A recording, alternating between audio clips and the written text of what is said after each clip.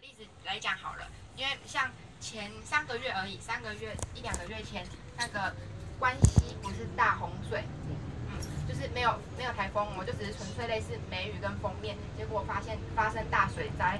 那那个时候呢，就常常就会收到赖，不管是以前的客人也好，家人也好，朋友也好，就会说小杨小杨那边没问题吗？可是呢，我抬头一看，我人明明就在东京啊，我在说日本还好吗？新闻都把它包得很像什么？日本都快淹没了一样，但其实都只有一个小小的区块。那所以像包括我们昨天的地图也是一样的。原本呢，十九号、二十号台风，他们预计是要从九州这边这样太平洋再延延延延上来嘛。那一个呢，从下面绕过去了，一个从下面绕过去，直接往韩国冲过去。那一个呢，还呃真的躲不开了，可是它就往北边修，四国在这里。